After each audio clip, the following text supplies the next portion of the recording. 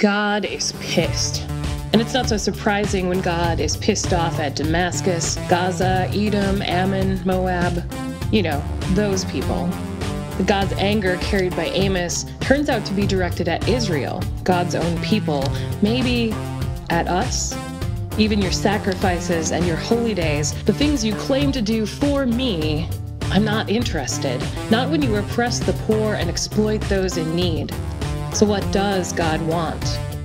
Instead, I want to see a mighty flood of justice, an endless river of righteous living. Until then, expect exile.